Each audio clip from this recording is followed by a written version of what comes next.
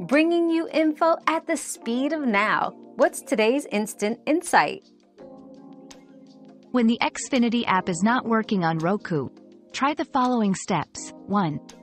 Restart your Roku device by unplugging it for 30 seconds and then plugging it back in.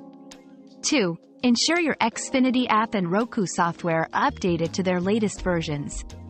3. Check your internet connection to ensure it is stable. 4. Reinstall the Xfinity app by removing it from Roku and then adding it back. If problems persist, contact Xfinity customer support for further assistance. Another mystery solved, but many more await. Keep up with our daily discoveries by subscribing and turning on notifications.